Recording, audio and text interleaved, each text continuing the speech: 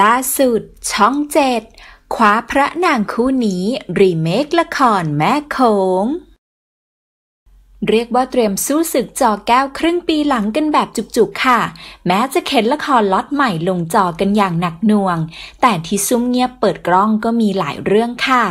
โดยแต่ละสถานีก็ไม่มีใครยอมใครเลยนะคะ ฟาดได้ฟาดค่ะ ล่าสุดวิกหมอชิดก็จัดให้สมใจ ในละครที่คิดถึง เรื่องแม่โขงค่ะ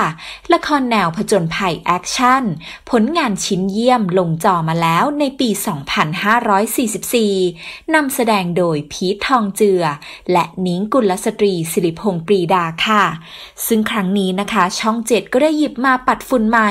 รังสรรค์ผลงานโดยผู้กำกับบู๊ขั้นพรีเมียม โอลิเวอร์บีเวอร์ ซึ่งสำหรับละครแม่โขงนะคะ ก็เป็นเรื่องราวของการสืบค้นของทหารอเมริกันที่สูญหายไปในสงครามเวียดนาม